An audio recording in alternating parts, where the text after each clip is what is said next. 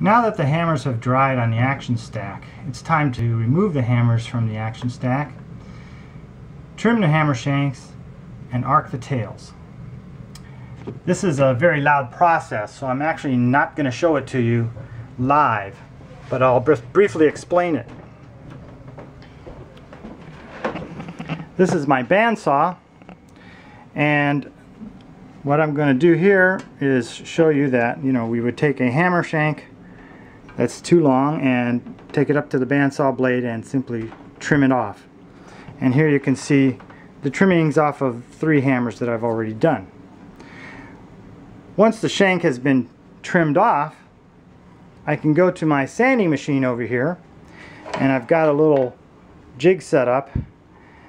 This will allow me to arc the tails and um, this this jig I made myself it uh, swivels and gives a perfect 14 degree arc to the tail. And it's held firmly where you bring it up to the sanding disc and then you simply rotate it and it sands away the excess tail material.